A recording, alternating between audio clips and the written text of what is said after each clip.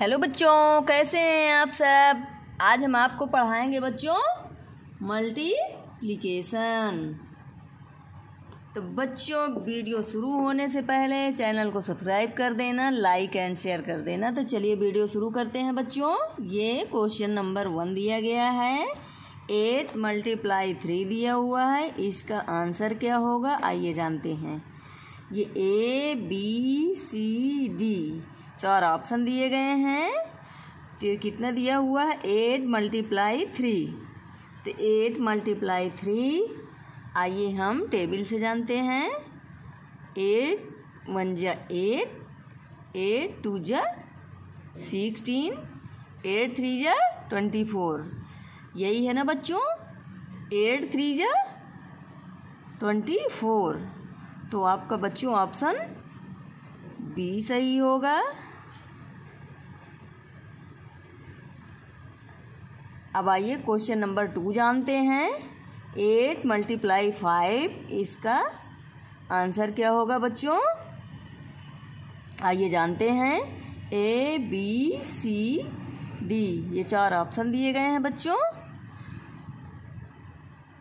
आइए टेबल से जानते हैं आंसर एट वन जा एट एट टू जा सिक्सटीन, एट एट थ्री जा ट्वेंटी फोर एट फोर जा, थर्टी टू, एट फाइव जा, फोर्टी। तो यही यही बच्चों दिया गया है।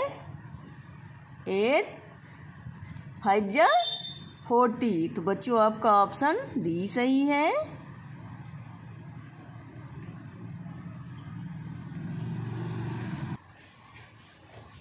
बच्चों क्वेश्चन नंबर थ्री है. एट मल्टीप्लाई सेवन इसका आंसर क्या होगा? ये जानते हैं.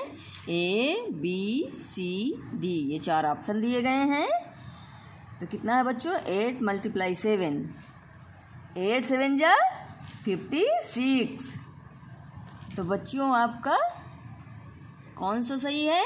ए ऑप्शन सही है फिफ्टी सिक्स एट सेवन जा फिफ्टी सिक्स एट सेवन जा बच्चों, फिफ्टी, सिक्स, इसमें गोला लगा देते हैं हम। ये क्वेश्चन नंबर बच्चों आपका फोर दिया हुआ है। एट मल्टीप्लाई नाइन, इसका आंसर क्या होगा? ये जानते हैं ए बी सी डी ये चार ऑप्शन दिए गए हैं बच्चों।